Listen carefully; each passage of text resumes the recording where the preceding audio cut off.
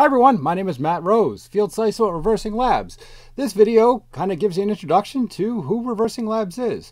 Well, at Reversing Labs, we are the uh, software supply chain uh, security solution for the SOC, the malware analysis and threat hunting side of the house, and that application security, software security side of the house for software supply chain risk. So on this side of the house, we have SSCS, software supply chain security, in this side of the house, we have our math capabilities, which is malware analysis and threat hunting. Both these solutions are powered by the largest private reputational database of malware in the world. That is our claim to fame. You've probably actually used Reversing Labs at one point in your career with another security solution because a lot of security solutions leverage that reputational database to help with the completeness of their product.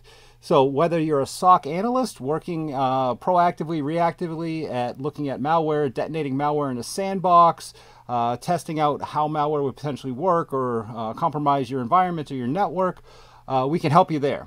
Also on the software side, uh, software supply chain security side of the house, we can integrate and automate software supply chain testing to look at the compiled package.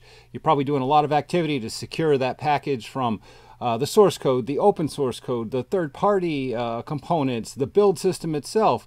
We are that thumbs up, thumbs down uh, solution to verify if that package has been compromised, changed, or manipulated in some way. Uh, thinking about all the different types of uh, software supply chain attacks that have happened, we have, you know, SolarWinds, uh, 3CX, or Circle CI.